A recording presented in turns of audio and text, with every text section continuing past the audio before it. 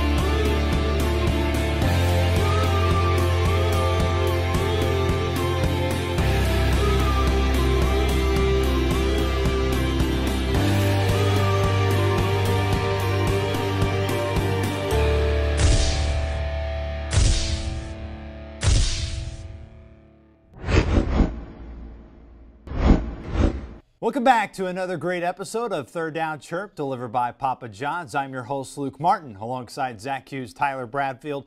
As you can tell, it's Black Friday for the big game against Miami of Ohio, so we are donning the black colors in support of the big game Friday. But a tough loss for the Cardinals in DeKalb. It's been a little while for us to think about that loss, but still, there's a lot to play for if you're the Ball State football Cardinals. Well, a lot to play for if you're the Cardinals, and you shouldn't be too upset. You go into the number 15th ranked team in the, in the nation, and you're in the game in the fourth quarter. It was a very close game. You, you should be proud if you're a Ball State Cardinal. The chance for 10 wins in this season against Miami, they got to capitalize. They got to get a win. It's just as important as if they would have beaten Northern Illinois to have a chance to win 10 games, that's really important. But let's focus on that loss to Northern Illinois with our recap graphic, as you can see now on the screen.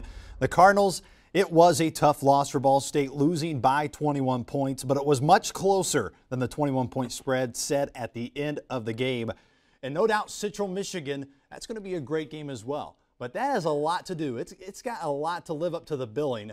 As a big game a couple weeks ago at Scheumann Stadium, when Sigma Chi, the intramural football team, took home their third championship in four years. Want to talk about a dynasty? Well, they were led by quarterback, uh, what was his name? Zach Hughes, led by quarterback. So the oh quarterback my. guru here at Ball State, Rich Skrosky, he got his hands on Zach Hughes' film, and he has a couple of tips for Zach Hughes to improve his quarterback skills.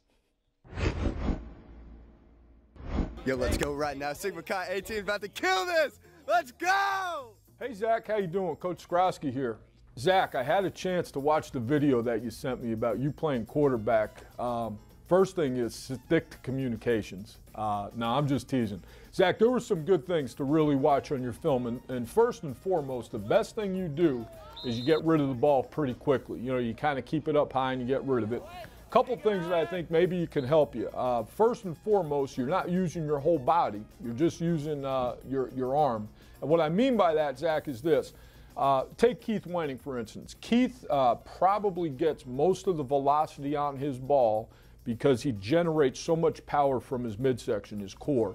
And the way he generates that power is by taking his left side and kind of torquing it through so that his right hip could get through. So the biggest thing I would work on with you, Zach, is this. Take your left elbow and try to keep it tight as you're releasing the ball and create a torquing action with your midsection.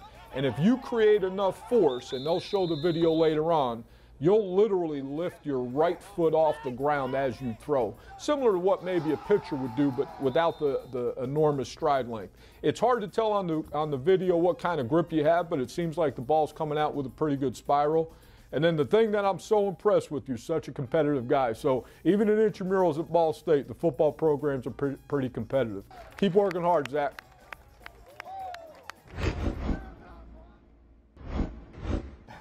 Folks, we just don't sit at the desk and just talk about football. Zach Hughes goes out and play, buddy. How about those? How about those skills? Uh, you didn't show me that before this. This is like a shock to me. But th- thanks for doing that for me, Luke, filming it, and and thanks, Coach Skrosky, for the pointers. I'll, I'll have to implement those in, in the indoor league. Well, you might be on your way to a Division One scholarship if you keep working. I saw the highlights. You're winning. You're doing good. winning, indeed. I think Keith Wenning. He's kind of feeling the pressure. but now third down chirp gets to make a Ball State alum proud. We're going to make David Letterman proud because we got our own top 10 list here on third down chirp but it's the top 10 plays of the Ball State football season, and let's get it going. And it's going to start at number 10 with a guy who's made a lot of great plays this year, and that is none other than Jordan Williams against Miami of Ohio, 72 yards right before halftime. Puts Ball State up big, and Jordan Williams on the day. He finished with five receptions for 161 yards and two touchdowns.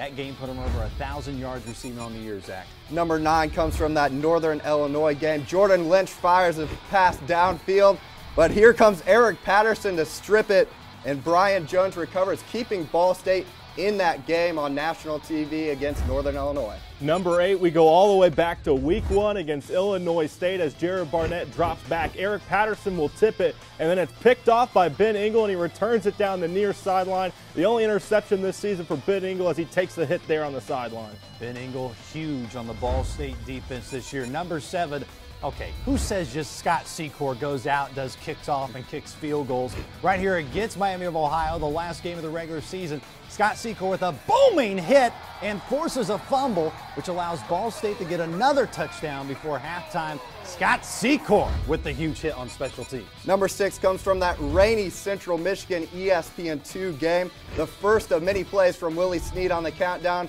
basically being tackled out of bounds, still comes up with a huge catch to lead to the Ball State win over the rival Central Michigan. Number five, we stay with Willie Snead against Akron. Look at the grab here. Only needs one hand. Look at the focus. Look at the hands. In the corner of the end zone, Snead's in at number five. And if he doesn't catch that, that hits me right in the face. Number four on the countdown, top 10. All Ball State fans remember this. Deadlocked at 24 in the third quarter against Virginia until Jahwan Edwards with a big touchdown run. The celebration would follow as Ball State upset Virginia by 21 points, Zach. Staying in that same game, Luke, Keith Wenning trying to find someone downfield. Well, just go ahead and throw it up to who? Willie Snead goes vertical over the Virginia defender and comes up with a huge grab. Number two, we go back to the Miami game, the season finale. It's Jamill Smith with the acrobatic catch. Check it out here. How does he do it? Only the 5'7 wide receiver goes up top and makes the grab, twisting backwards. And number one, arguably the biggest catch on the season for Willie Snead. Maybe the catch that saved the season as Willie Snead, the seven yard reception, which got the huge win for Ball State over Kent State. And that ends the top 10 plays of the year. Well, we had so much fun on the show with the fans going out and asking a coach and a player a question. We're going to do it again. And here are some Ball State students with questions for some Ball State football players and coaches. My question is for Willie Snead, and I want to know what his favorite dance move to bust out at the nighttime is. Uh, dance move, dance move. I'll probably, I'll probably do a little jig or something. You know, I'll just probably get a little lean and stuff. You know, I'm not much of a dancer. I'm not, I'm not the dancing type, but you know, I like to have fun. This question's for Jordan Williams. Which wide receiver would go out trick or treating and eat all their candy that same night?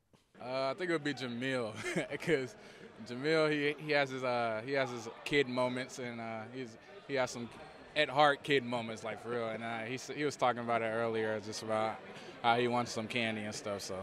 Hi, my question's for Nate Ollie, and I was just wondering um, if the squad had an eating competition, who would win? Uh, we eat some pizza, some chicken.